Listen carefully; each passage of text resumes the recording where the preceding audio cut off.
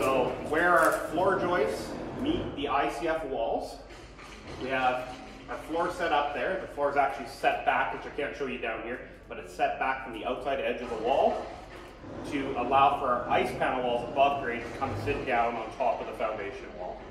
And then the floor is inside the building envelope versus going to the exterior face. Other little details we do is you can see the vertical 2x4 blocking. Anywhere where there's a loading from walls above, we put the vertical blocking to transfer the load. In theory, your joists are not designed to transfer the load from above. They are designed to span the width and take that load, but not transfer walls.